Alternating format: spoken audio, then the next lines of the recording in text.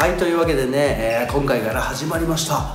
1ヶ月でベターと開脚ができるのかということでね。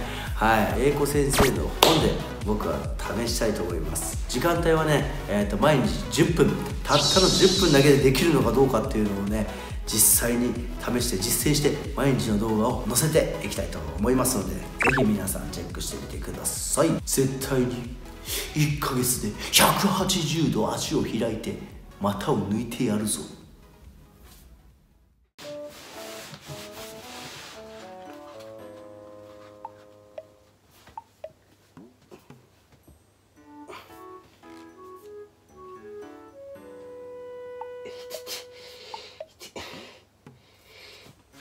でつたつたつた。つた。でつた。つた。つた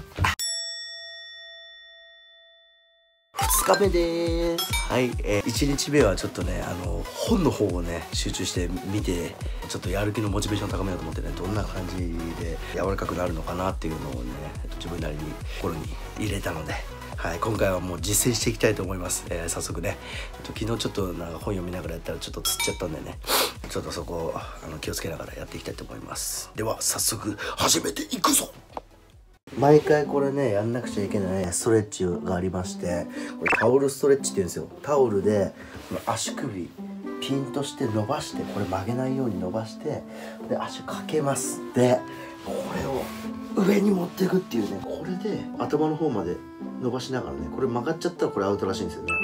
伸ばしながら持ってきます。これ今いててててこれいてここが限界かな、うん、でこれをね揺らしながらやるらしいんですけども。いてててててすげえい。最初の方は多分こうきつい人は多分前で言ってたんですけど俺結構までいけるんでまあ結構ギリギリの限界までチャレンジしたいと思います。でゆすりながら30秒あーでもすごい裏が伸びてる感じしますねこれ。これ英子先生のあの本をね1日目あの読んだんですけども書いてあったんですよね。内容が書いてあって。まあ裏返してみると足の裏が硬いからつかないって言って。あ確かに自分硬いなと思ってその足の裏を柔らかくするように意識してやっていくっていうのが書いてありました。もうもう痛い。ピンと足がちょっと伸びてるんでねもうちょっといけるかなあまだでも右の方がいけそうですね。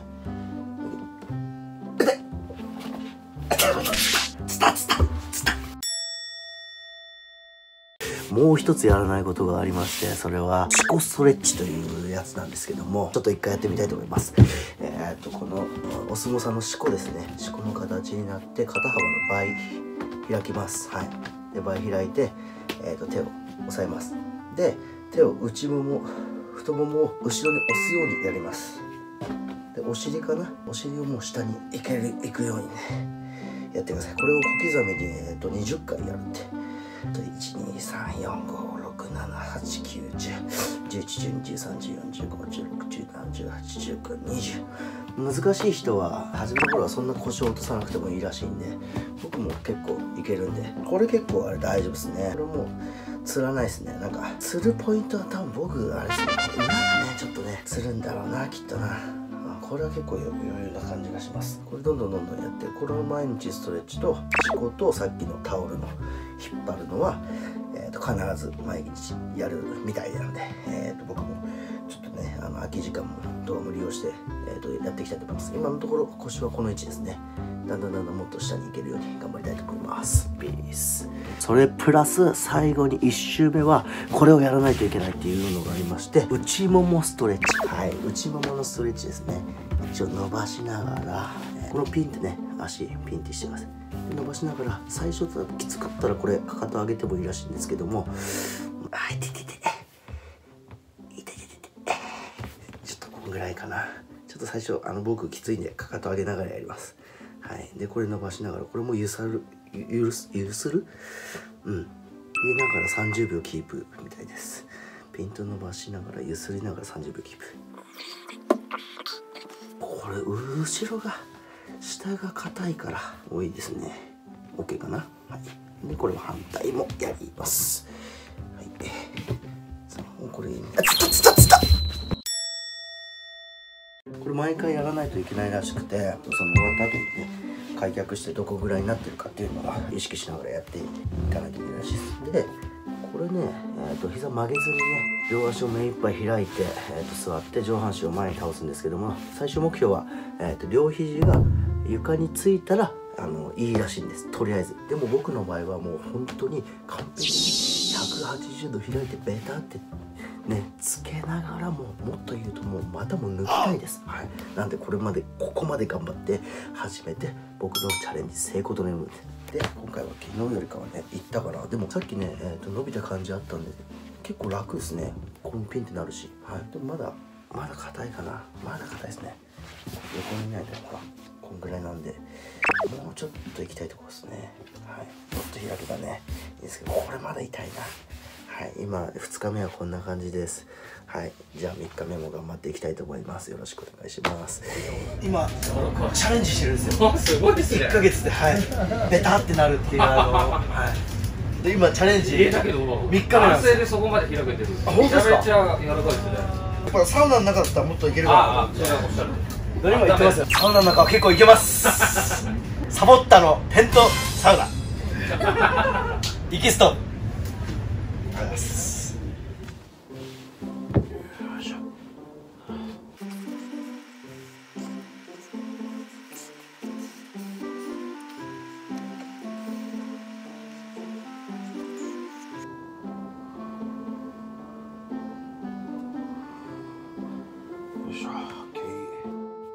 OK 四股ストレッチです。よ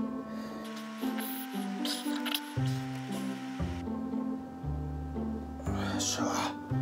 OK よし。ちょっと測ってみたいと思います。どうですか？もう結構開いてきてんじゃないですかね。いいんじゃないですかこれ。よし。裏も柔らかくなってきてるんでね。順調に効果が現れてんじゃないかと思います。はい。続き頑張っていきたいと思います。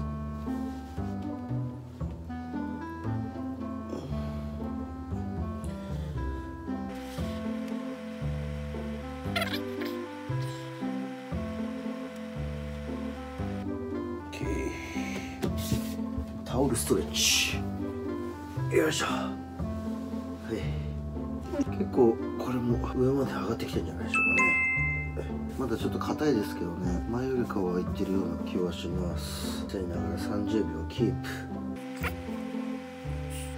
これも息する時もふーっていうよりはあの魂を抜くような感じで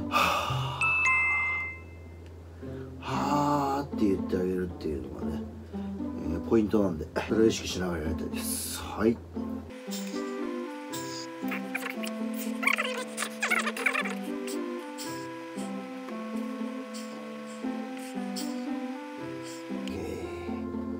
よし。内ももストレッチね。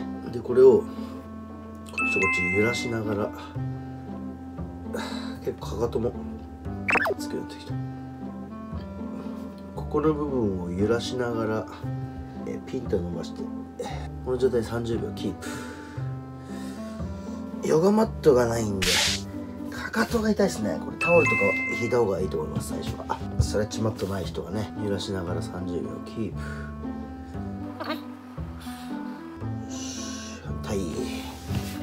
しょこっちもタオル引いて。よいしょ。OK これも裏のところがすごい伸びてるような感じはします。前よりすっごい柔らかくなってますね。はい。初日に比べたらすごい楽です。こっちのかかともついてますしっかり。よしじゃあ早速。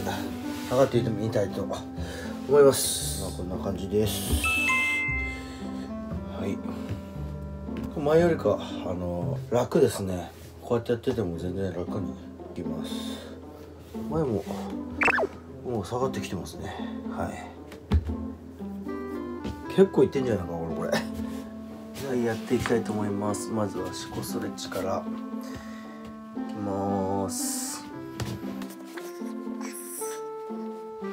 小刻みに20回。で片方ずつ内側に倒していきます。よいしょ。この時に腕で太ももを思いっきり押すようにしてください。はい。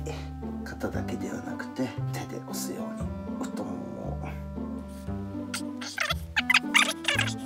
まあなんとなくなんですけどもね。当初よりかは腰も落ちて入ってる感じはします。OK はい。はいじゃあタオルストレッチいきます。よ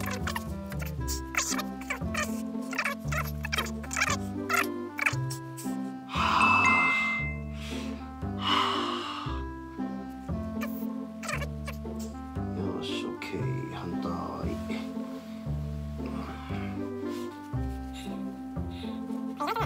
まっすぐ伸ばすのってすごいきついんですよ。